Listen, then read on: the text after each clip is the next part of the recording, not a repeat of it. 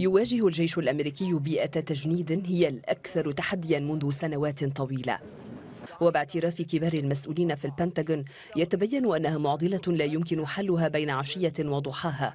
وقدر مسؤولو الجيش في لجنة القوات المسلحة بمجلس النواب أن عدد الجنود سيكون أقل بنحو عشرة ألاف جندي من حجم القوة المخطط لها في هذه السنة المالية.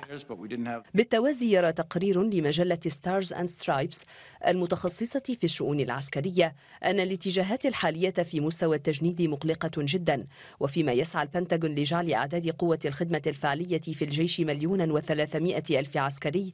هناك عجز سنوي بنحو 60% أقل من المطلوب. ويعزو التقرير النقص الحاد في أعداد القوات إلى عدم رغبة غالبية الشبان في أداء الخدمة العسكرية. فيما تكمن المشكلة الأكبر في ارتفاع معدلات البدانة وتعاطي المخدرات. في المحصلة تبلغ نسبة الراغبين في أداء الخدمة 9% فقط وهو أدنى مستوى للمجندين منذ عام 2007 خلال ذروة غزو العراق. وهنا تطرح تساؤلات كثيرة عن ضرورة خفض المعايير لتلبية القوة النهائية أم تقليص عديد هذه القوى للحفاظ على احترافية عالية الجودة.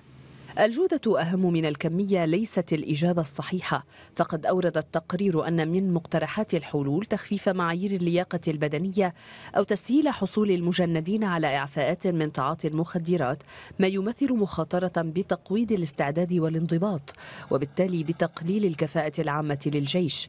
ولا أحد يجادل في أن أزمة نقص المجندين هي الأحدث في سلسلة انتكاسات أصابت الجيش الأمريكي على مدى سنوات من الحروب خاضها وخصوصا في العراق وأفغانستان.